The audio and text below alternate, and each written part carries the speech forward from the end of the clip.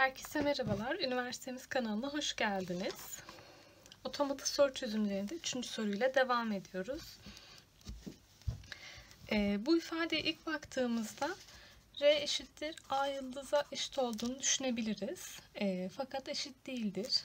R eşittir A yıldızın e, tanıdığı kelimeler kümesini oluşturacak olursak lambdayı tanır, A'yı, A A'yı, A A A'yı diye sonsuza kadar devam eder.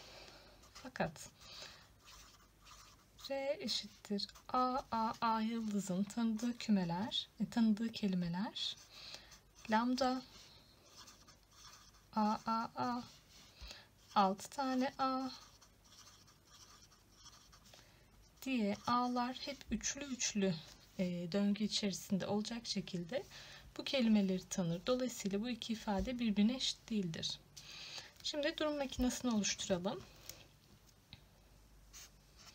İlk olarak başlangıç state'ime Q0 diyorum. Şimdi burada A ile başka bir state'e gideceğim. Q1 olsun. Yine A ile başka bir state'e daha gideceğim.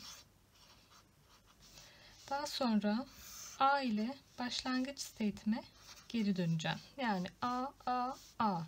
Ve burası aynı zamanda final state'imiz olacak. Bunu yapmamızın nedeni lambdayı da tanıyabilmesi.